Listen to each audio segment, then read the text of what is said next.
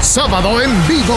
Decisiva jornada en el Apertura. Los toros de Luis Ángel Firpo quieren el tercer lugar, pero llegan los emplumados del Club Deportivo Águila que pretenden escalar y terminar segundos. ¿Quién se quedará con el duelo oriental?